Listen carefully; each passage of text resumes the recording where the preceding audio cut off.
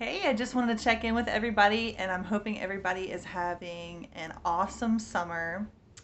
And I hope that we are just staying cool inside. And I just want to let you guys know I'm having a great summer. I went swimming yesterday, um, and I had a good day with my neighbor.